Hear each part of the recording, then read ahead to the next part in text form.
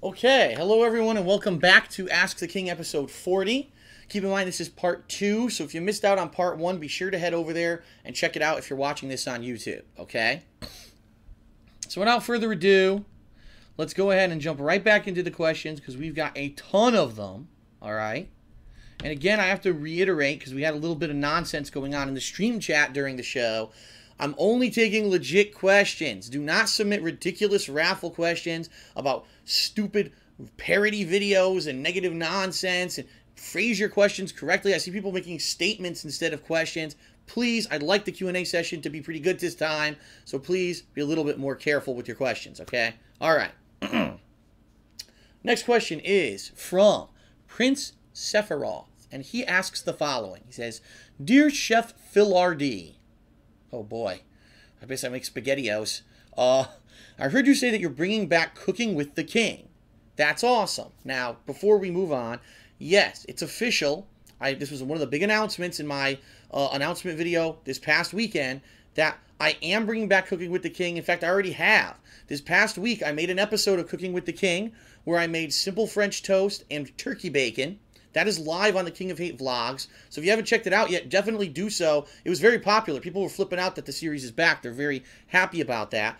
And the way that I'm going to do it is I'm planning on, uh, excuse me, pretty much doing it about once a month. It's not something I'm going to be doing all the time, but about once a month I'm going to try to make a certain food item that I haven't made before. Now, I actually did make French toast before, but that was that period of time when I was only uploading videos to Blip TV. And that video has very long time ago been deleted. Three years ago, that was deleted off the internet completely. So I said, here's a great opportunity for me to remake the dish so that people on YouTube can see it. And that's live on the King of Hate vlogs right now. So now back to the question. He says, I think that this is a great idea. It's going to be fun and hilarious to watch you try and probably fail a lot of the time uh, to cook or bake something. And by the way, he's right because I burnt the turkey bacon. Regarding this, I was wondering if you'd ever considered, oops, if you'd ever considered uh, cooking certain recipes that your fans sent in for you to try.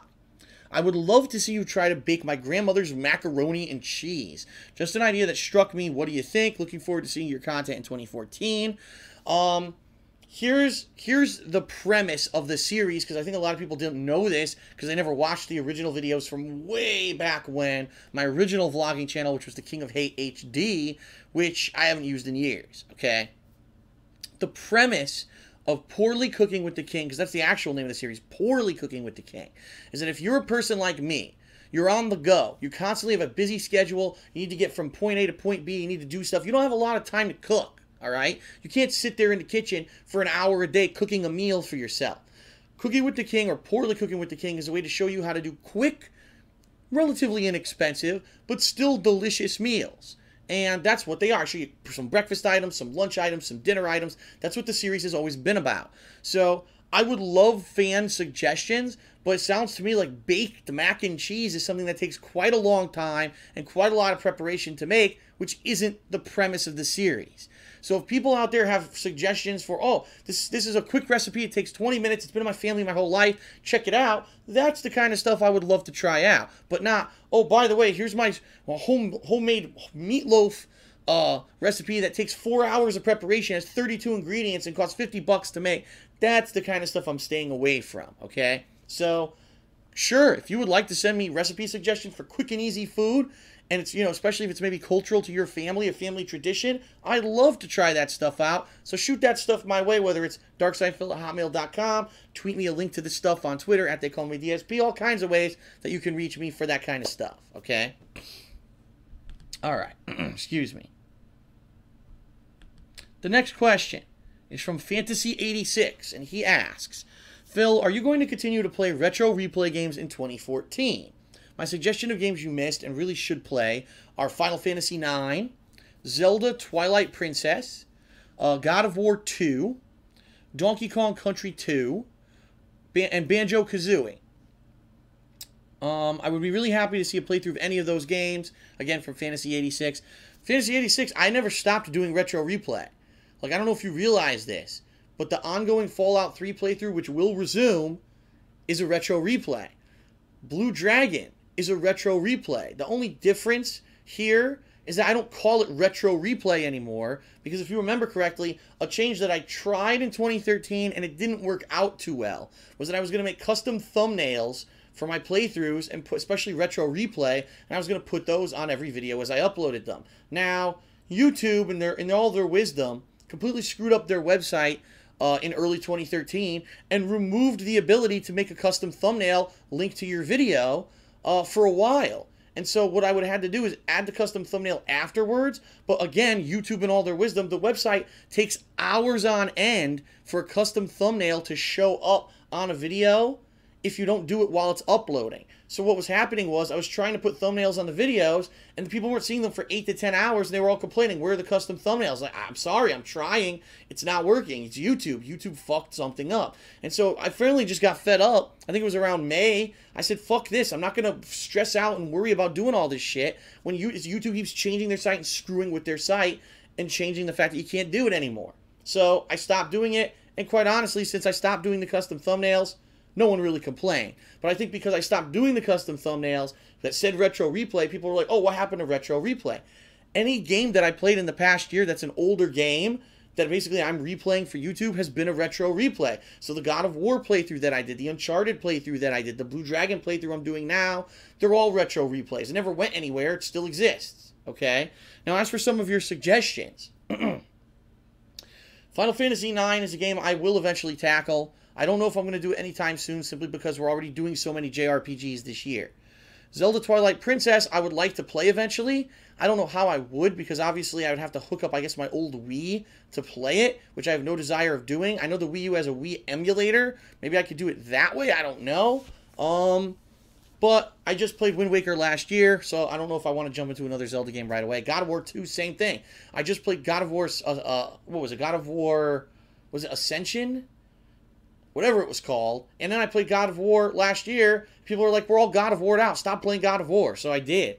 Uh, Donkey Kong Country 2, again, Donkey Kong Country Tropical Freeze is coming out soon, so I don't want to play the same kind of game. And Banjo Kazooie is the one on that entire list that I never played. I don't know what the game's even like. I just know it's like a 3D platformer. Um, but how the hell would I play that? Think about it. How would I play Banjo Kazooie? Go buy a Nintendo 64? Is it? I guess I could maybe get an emulator and play it on an emulator.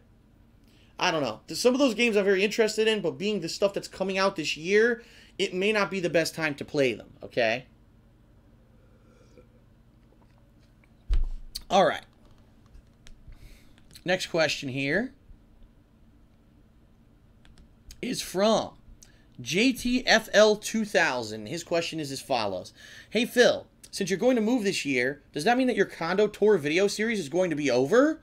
I've been a huge fan of your condo tours because I get to see what it what it is and what's new since the last time that you did one. I hope you'll keep doing it and thanks. Now wait a minute. Just want to think about this. If I move out of this condo to a new location outside of Connecticut, will I keep doing condo tour videos in this condo? I think pretty much everyone watching this video can figure out the answer to that question. No, I can't. It's impossible.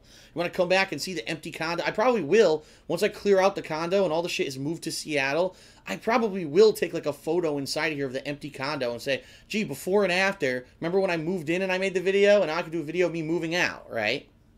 But, uh, yeah, when I move, the condo tour videos will end, but it's going to start a whole new line of videos of the new place. Me walking through the new place, showing you all the rooms, the different stuff, when it's empty when we first move in, then after we actually unpack everything and we set stuff up, then as we buy new furniture and appliances and things for it, I can show you my new setup for streaming and everything and how that's going to work there. Hopefully I'll get a new PC like I'm planning to do so I can actually do a dual monitor setup and actually do real PC gaming with dual screens and not have to worry about my video, uh, uh, my capture device crashing or whatever it's going to be immense. It's going to be a ton of video footage from the new place. It's going to be a whole new world of, of exciting entertainment and, and, and, info for everyone. And so that's why it's another thing. Even though I'm moving and there's some negatives, there's going to be some tremendous positives. All the new variety of stuff I'm going to be able to talk about, about the new location I'm moving, the house, and everything. It's going to be great. So I'm really looking forward to it.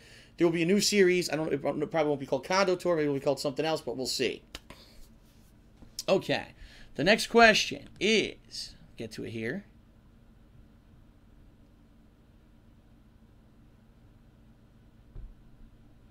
See here. Spearpoint666. Okay. Uh, the next question is from Spearpoint666, and he asked the following Hey, Phil, I have a question about game length. As you know, a lot of times there are people who are turned off by shorter games. It's become a norm for people to skip certain games simply because they are not that long. I, I actually totally understand what he's saying. There's some games I've played over the past few years, and because the game's only five hours long, everyone's like, fuck it, that game sucks. Like, now wait a minute.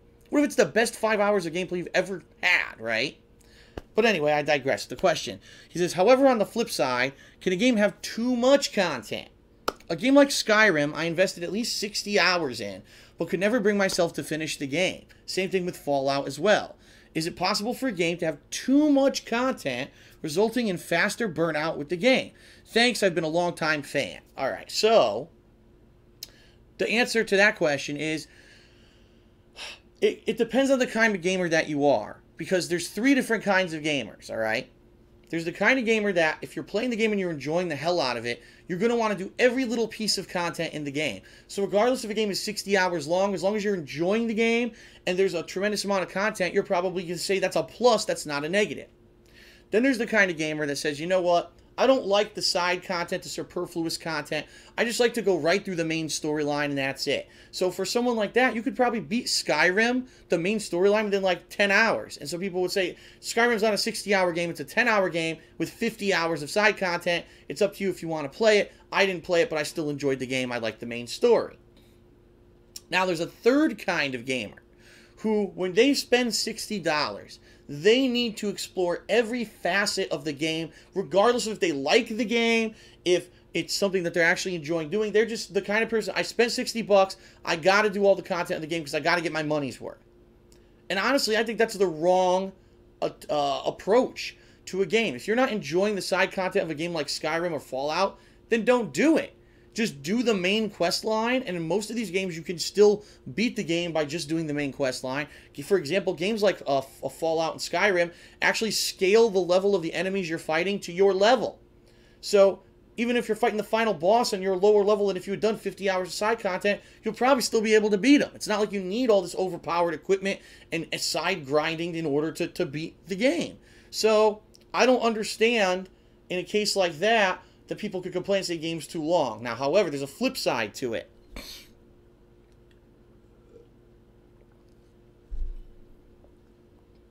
I personally know a couple people, I'd say a few people, who've come to me and said they actually don't like Grand Theft Auto 5 that much.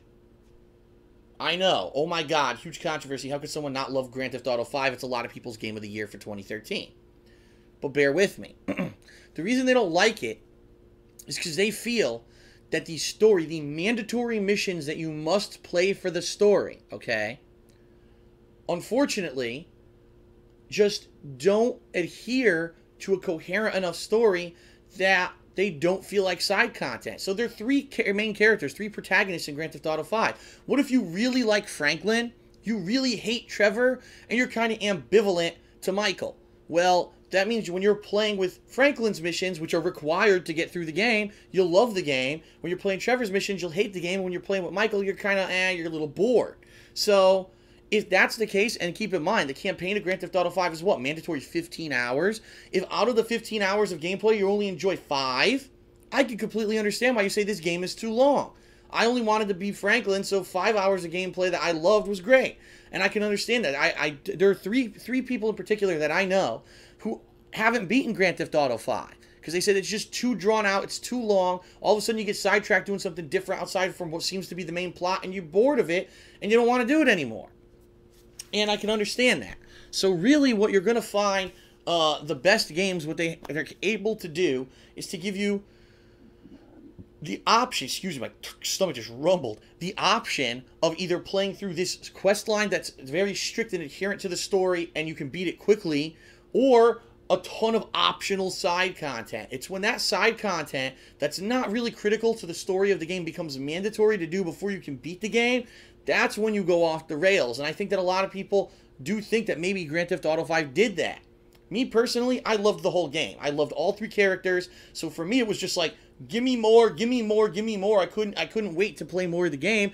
I, I was just enjoying the hell out of everything that I did in it. But I could see from the perspective of someone else who doesn't necessarily like all the characters that you get stuck doing shit that you don't like just to beat the game. And then in that case, you could say the game's too long, it was padded. I understand that. So there's two perspectives. It's going to depend on the kind of gamer that you are, I think. But it could be a negative. All right. The next question is from, let's see here. Next question is from Ninja Assassin. And actually, it's funny because he doesn't spell it that way, probably because someone already took the name. Ninja Assassin, S I A N 10. And he says, Phil, are, is it still capable? Like, is it still possible to buy stuff from your shop? Now, if you're watching this video right now, you might be saying to yourself, what the hell is he talking about? Phil has a shop? Yes. Way back when, we're talking like, I think it was either 2009 or 2010 when really it was the, those burgeoning years where I was just gaining my popularity on YouTube and I was becoming a known person for gaming and Let's Plays. People were coming to me and saying, Phil, we'd love to buy a piece of merch from you. Can you sign something for us? Can you have something with your logo on it? We'd love it. Like, like for example, dun dun dun, right? How long have I had this Stein, right? And they said, we want stuff like that for Christmas. And the, I remember one year, I think it was 2009, I didn't have anything, and people were very disappointed. You're like, Phil, you have nothing. You have nothing you can we can buy or or have your your stuff on it. And then so that next year, I did actually go to a website called Cafe Press. And I created a line of stuff with cool logos like this one and many others that is still live. That website still exists. You go to cafepress.com backslash darksydephil. You're going to see not only stuff of me, but also stuff of the uh, Super Turbo Revolution from years ago. Remember that? Holy shit. That was what, 2011? So Revo, ST Revo, that kind of merch is on there. And there's shirts catered to me, to John Rambo, to Howard, and everyone that was involved in the Super Turbo Revolution. You could actually get those shirts there. And uh, I'm going to be honest with everyone. These past few years, I've focused on my content.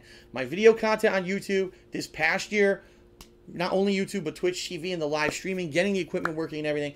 I'm not one of these shills who you see me in every video wearing my t-shirt. Oh, and you should, by the way, go to my site and buy my merch. I've never been about that. And really, the primary reason I ever made merch was as fan service for people who were interested in getting it. All right. Here's the bottom line. I said this the day that I released the store in 2010. I make about a dollar per item over there. That's right. I make a dollar per item. What a lot of people do with their Cafe Press merch is they pad the pricing. So obviously a t-shirt with my name on it should cost what, 15, 17 bucks at the most.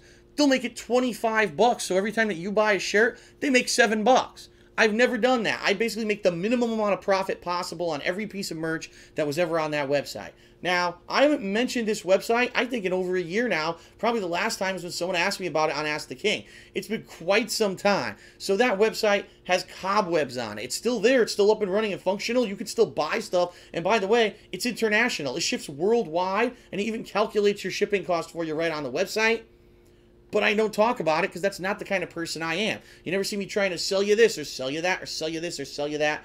I want to give you free and entertaining content and you watch it and by watching it you pay me back. And that's the that's the relationship we've always had. So that's why I'm not like that. Same reason why I'm not the kind of person who here on Twitch TV I'm begging for donations constantly. I'm not. I want to earn my living. So by all means, you want to laugh, head over to cafepress.com backslash darksydephil. Look at the ancient merchandise that's there. That's still readily available for purchase. So if you ever wanted to buy something, you could. But just know I make almost nothing on it. It's more for your benefit than mine. Okay?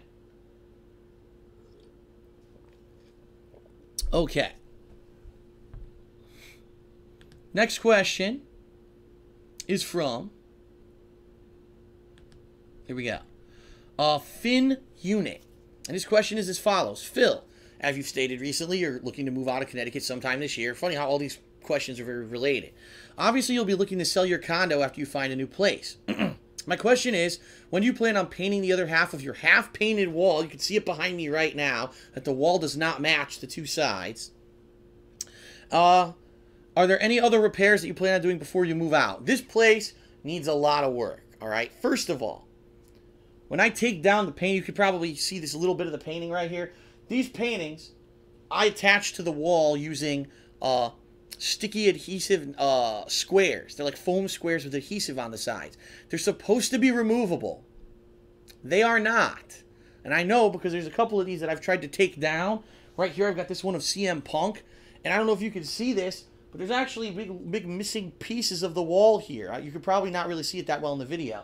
But it took the freaking wall off.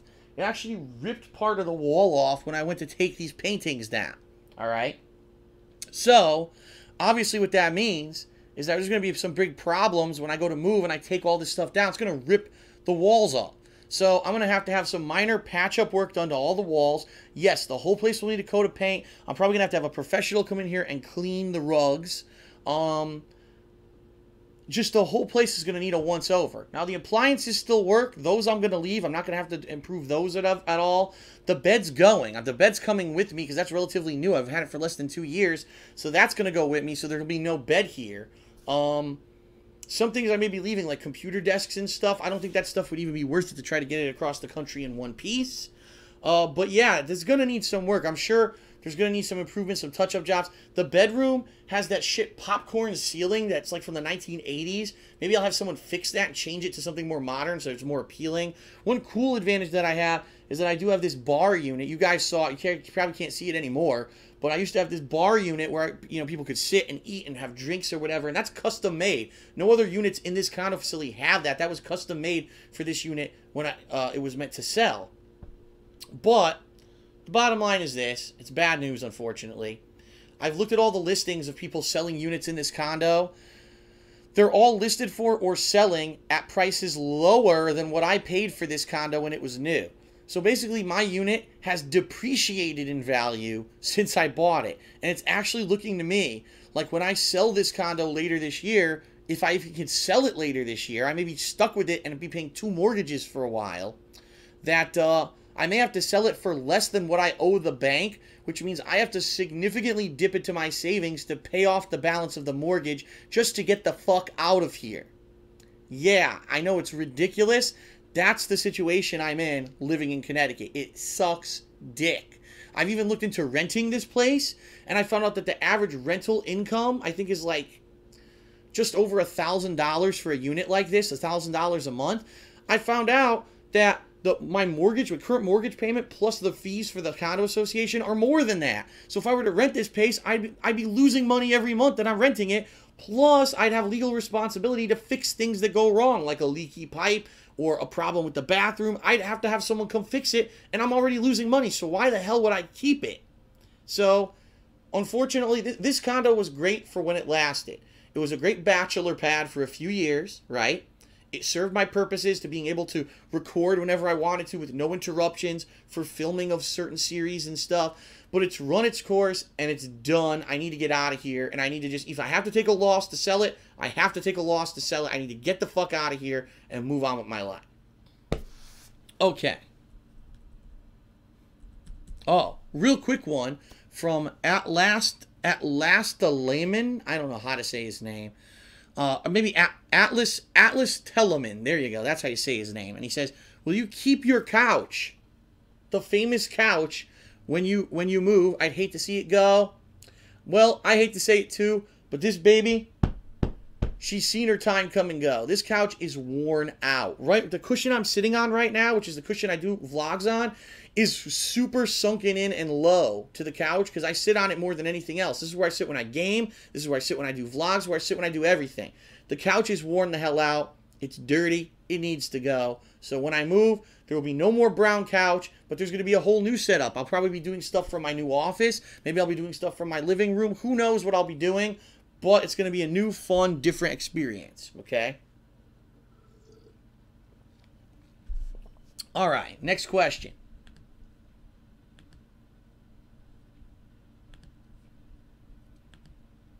This is a funny one. This one just blows me away. Where do you hear this question? This question is from Golden Boy Mikey, and he asks the following Phil, I have two questions if you don't mind. One is easy enough. Will you be attending too many games or ScrewAttack Gaming Convention again this year? Well, I'll answer that one very quickly. I don't know. Too many games may be off the table because I don't know if you guys have heard about last year, Too Many Games.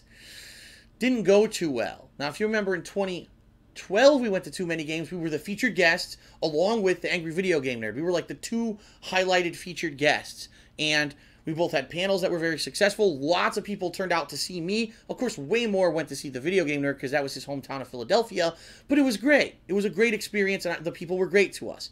Last year, too many games decided to hold their event the week of E3. Now, I don't think it was their fault. I think E3 actually changed the week that it took place. And therefore, if I went to too many games, it would have conflicted with E3. At that point, I didn't know if I was going to be able to go to E3 or not. There was a possibility that Machinima might have been able to get me out there like they did in 2012. And uh, so I had to turn it down. And I said, he actually invited me. The, the owners of Too Many Games invited me to be a featured guest again. And I had to turn them down. I said, unless you could change the dates, that's too much of an important week for me. And uh, I don't know if anyone's uh, went to too many games last year or heard, but basically attendance was in the toilet. Uh, almost no one went. The basically the only people that went were the people who were fans of the Angry Video Game Nerd, and that was it. I actually know because Carol Ann, who is OJ's girlfriend, half of Athena's Wink, had a table there, and she says they sold like nothing. They took a massive loss being at too many games in 2013 because no one went. Now, I feel bad, obviously, because at least if I had gone, I would have had a draw of the people who were local who wanted to see me, but it didn't work out. And if you remember, the week after was SGC, so we actually attended SGC, uh, which was very successful. So, too many games, I don't know. I mean, it, it, it's a big ordeal for us to get out to these events, um, and I don't know if it would be worth it if, if really attendance is that bad. I don't know if there's enough interest for us to go.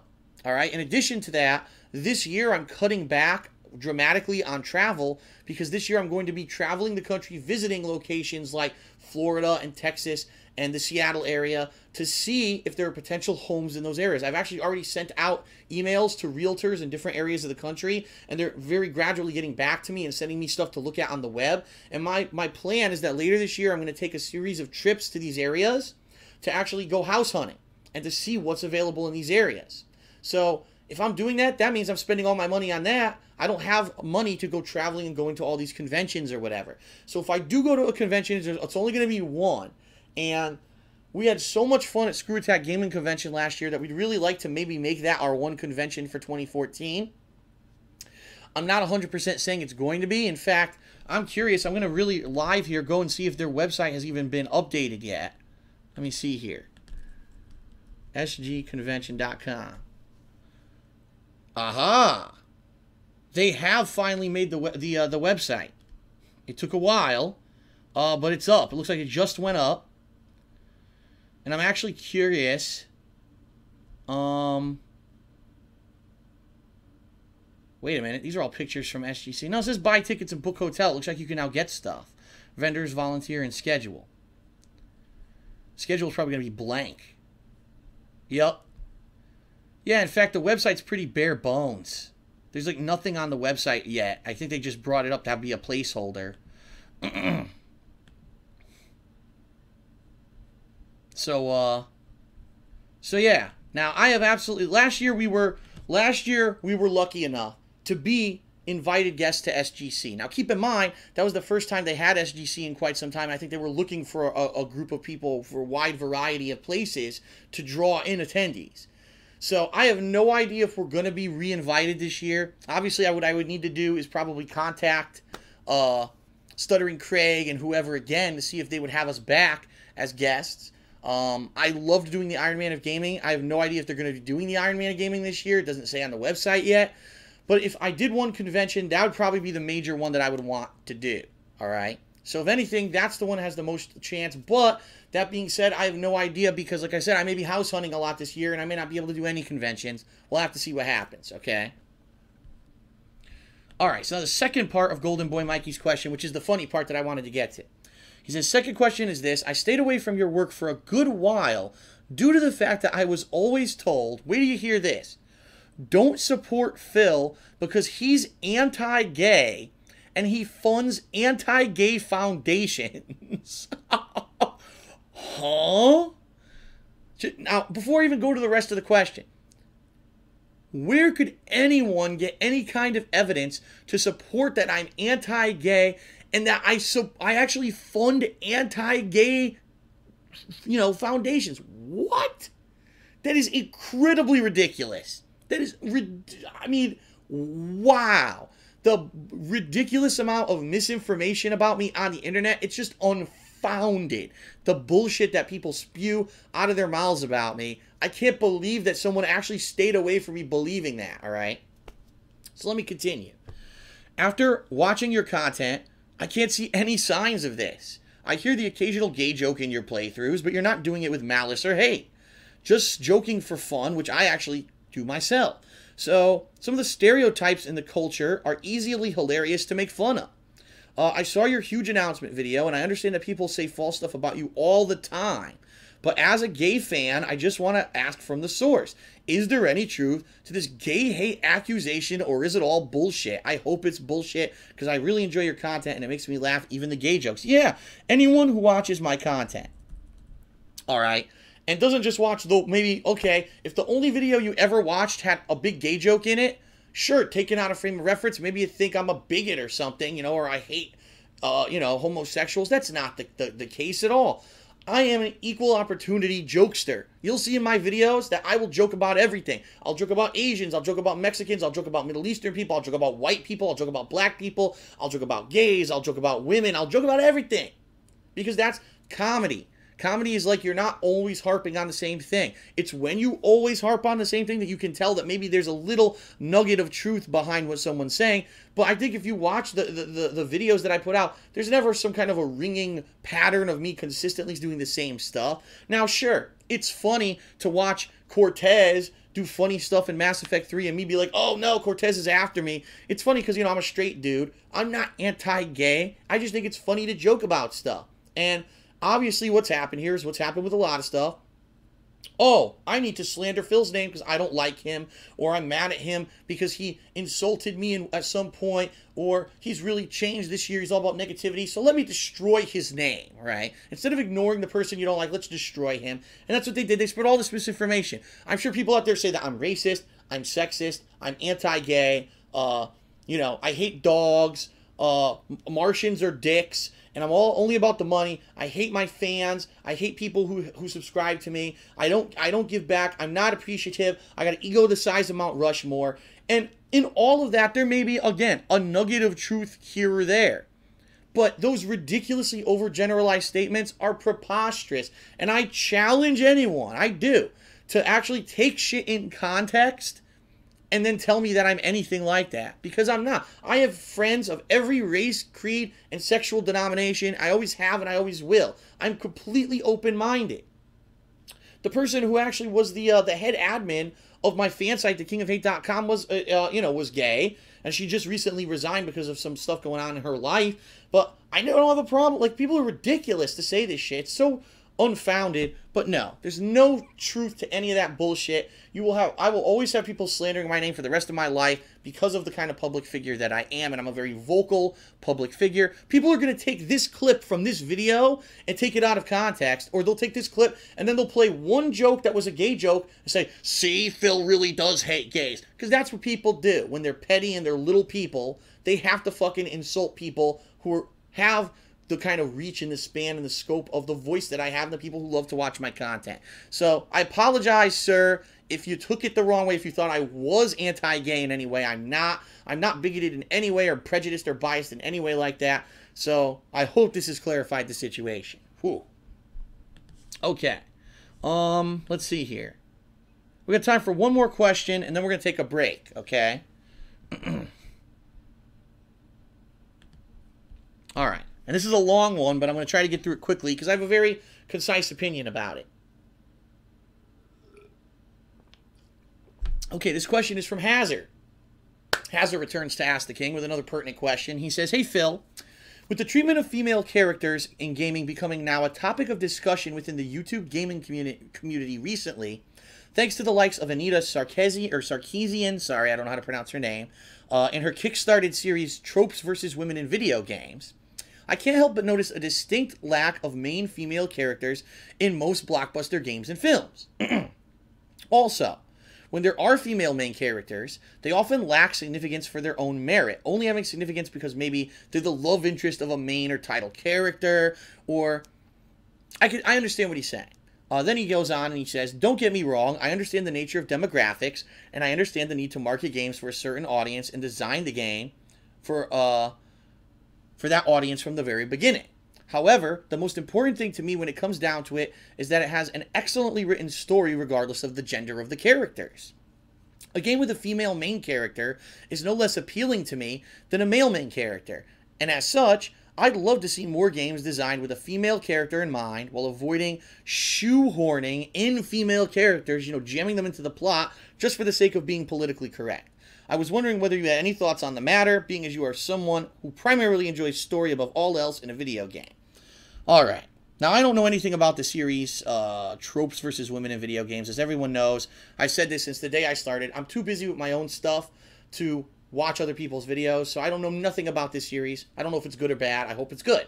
Um, here's my feeling on the matter. And I've, I've actually talked about this previously, but I have some interesting takes on it now from recent happenings in, in the video game world. Um, video games primarily were seen as a geeky, nerdy thing for males. Really. At the beginning of, of the whole video game culture, that's what it was. Geeky, nerdy dudes will play these games, and it's for, for just for male demographic. Then, of course, it evolved. Oh, well, now it's starting to become a more popular thing. So it's for the male demographic, but now it's not geeky or nerdy anymore. Now it's violent and bloody. So then the game started moving into more violent first person shooters, games like Mortal Kombat, things like that. Oh, it's all about male dominated violence and, and that kind of stuff. But recently, I'd say the past five years, we've finally seen a shift where games are changing and they're becoming way different than they used to be. Now, if you actually take the demographics of people who play games, you'll find that females are actually at the all-time high for their percentage of the of the pie of females who are playing video games. And I think it's for, for first of all, obviously it's because everyone's on this thing. Everyone's playing their mobile games, women, men, everyone. So obviously, when everyone owns one of these and everyone's playing a mobile game, they count that into the statistic. But I don't think it's just that. I actually think it's the fact that we've had more adult-oriented stories, games that are trying to reach new artistic heights games with serious plot lines with characters that doesn't matter what sex they are. They're, it's, you're there for the character and the story. You're not there because there's a girl with giant heaving titties. You know what I mean? Um, and it is sad because in previous, I, I mean, think of the, think of popular female characters over the years in video games. Samus Aran, who you never saw because she was in a robot suit, so it could have been a dude. You know, it's regardless of, of what the, they tell you is in the suit. Samus Aran was like covered up anyone who was like a female lead was like Princess Toadstool or Peach. Oh, the victim complex, always getting kidnapped, not a very strong character. When you had a strong female lead, oh, Lara Croft in Tomb Raider. By the way, look at the size of her fucking huge tits. It's ridiculous. And it was like, well, if you're going to have a strong female protagonist, she has to be a sex pot, and you know, because that'll appeal to the dudes. It's like, you get to the point where you get fed up. And I have to say, in recent years, games like Mass Effect, where your main character can be female. You can make her look however you want. She doesn't have to have giant fucking titties. The fact that the game has strong female lead characters that you have the choice whether or not you want to romance, right? You don't have to. And those characters are there for the story, not because they're just your romantic interest. So, that series in particular, I think, was a huge advancement when it comes to females having leading roles in games and not being there just for sexual preference or to be a love interest and stuff like that. What about the reboot of Tomb Raider, where the main character looks like a real freaking woman and she's a badass? She goes out, she can fight toe to toe with any of the guys in the game, right? These are just a few small examples. Recently, you had games such as The Last of Us. One of the main characters is this girl who becomes extremely self reliant and resilient and even though, yeah, there's a little bit of a victim complex because she is a girl, but she fights back. She actually kills people. There's crazy things in the story that happens where she's an incredibly strong, believable character. Or what about Jodie from Beyond Two Souls? The whole game's about this girl who her whole life struggling with this supernatural ability. She gets trained to become a main character. And of course, yes, they have to have the typical, oh no, she's going to try to romance the dude, but she's not a sex pot. She's not half naked for the game. She's a believable female character. So what I think is happening is that as game developers are making games, they're realizing now if we're going to become more artistic, if we're going to become the next level, and we really want to be taken seriously, we have to get rid of that sexist bullshit stereotype from the past. We have to escape from that because yeah, we made our money in the 90s doing that, right? In the early 2000s, but it's time to put that behind us. And it's time for us to move forward and realize it's more about equality. It's more about strong female leads. I'm hoping we're going to see a lot more games with strong female leads. And I think that they're actually, in a lot of ways, entertaining, even more entertaining, because I'm tired of games about this big roided dude and I am the superhero and I can do unbelievable feats because I'm a man and I fight and I'm tough, big macho bullshit. It gets to the point where when every game's like that, you don't care anymore, you know? So, uh, so yeah, at least in that regard, I think we're heading in the right direction. We have seen some change recently that's positive, and I'm hoping that this pattern is going to continue. All right. Okay. It's time for another break. If you're watching this on Twitch TV, I'll be back in a few short minutes. If you're watching this on YouTube, just jump right ahead to part three. We got way more questions to get to. I'm hoping we can do it, wrap it all up in one more part, plus the live Q&A session. So we'll be right back with hopefully the conclusion of Ask the King episode 40. Don't go anywhere.